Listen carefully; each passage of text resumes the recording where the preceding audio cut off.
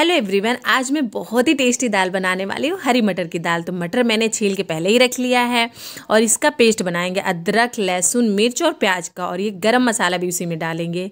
इसके पेस्ट से दाल बहुत ही टेस्टी बनती है। तो अब मटर मैंने पीस लिया है। मटर को दरबरा सा पीसना है।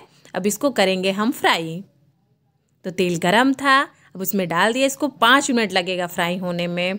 जब तक ये ड्राई नहीं होगा, तब तक आप फ्राई करते रहिएगा। वैसे पाँच मिनट फ्राई हो जाता है। देखिए, अच्छी तरह से फ्राई भी हो गया है। अब इसको हम निकाल लेते हैं। अब चलिए दाल बनाते हैं। तो कुकर मैंने पहले ही चढ़ा के रखा था। तेल अच्छी तरह से गर्म है। इसमें खड़ा मसाला डालेंगे। खड़ा मसाला बहुत ही इंपॉर्टेंट है इस दाल में। अब इसके बाद हम प्याज डालेंगे। एक बड़ी साइज़ की प्याज लीजिएगा छोटा छोटा कट कर लीजिएगा अब अच्छी तरह से एक बार इसको चला देंगे। और ये दाल बहुत ही टेस्टी लगती है। मतलब छोला आप, छोला तो भूलेंगे नहीं, मगर छोले की जैसी ही पूरी दाल लगती है, बहुत ही टेस्टी लगती है। थोड़ा सा गरम मसाला पीस के डालिएगा और खड़ा मसाला भी डालिएगा। ये देखिए, मैंने पेस्ट बना के रख लिया था उसका, जो अभी पहले बताया था। अदरक, लहसुन, मिर्च, प्याज और गरम मसाला। उसका पेस्ट डाल देंगे और चला देंगे एक बार। अब इसके बाद हम डालेंगे रेगुलर मसाला। धनिया पाउडर, हल्दी पाउडर मिक्स करके मैं हमेशा डालती हूँ, आप लोग देखते ही हैं। अब सबको एक बार अच्छी तरह से चला देंगे। अब इसमें हम डालेंगे थोड़ा सा सब्ज़ी मसाला।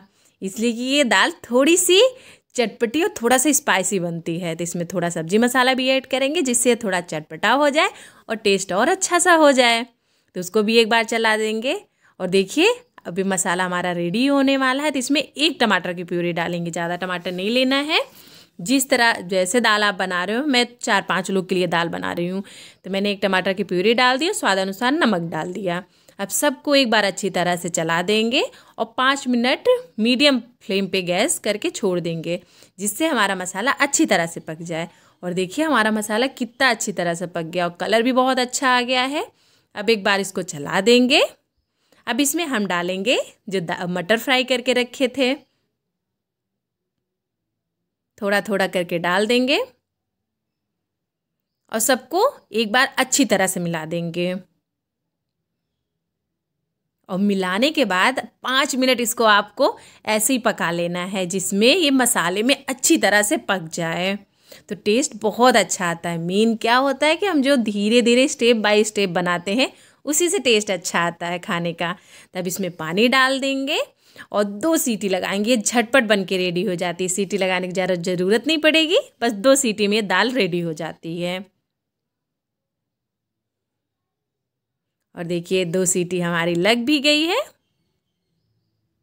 अब चलिए खोल के देखते हैं। देखिए, दाल हमारी पक के रेडी हो गई है।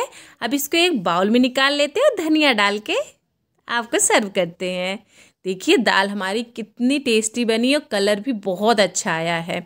इसको आप दाल चावल के साथ, रोटी के साथ, वैसे तो मैं दाल चावल के साथ खाती हूँ, मुझे दाल चावल के साथ बहुत अच्छा लगता है। तो चलिए सर्व करते हैं दाल चावल के साथ। दाल चावल और मिर्ची का अचार और प्याज। इंजॉय करिए। रेसिपी अच्छी लगी तो प्लीज़ वीडियो को लाइक करिएगा चैनल को सब्सक्राइब करना मत भूलिएगा और फिर मिलते हैं नेक्स्ट रेसिपी के साथ। तब तक के लिए नमस्ते। Radhe Radhe bye bye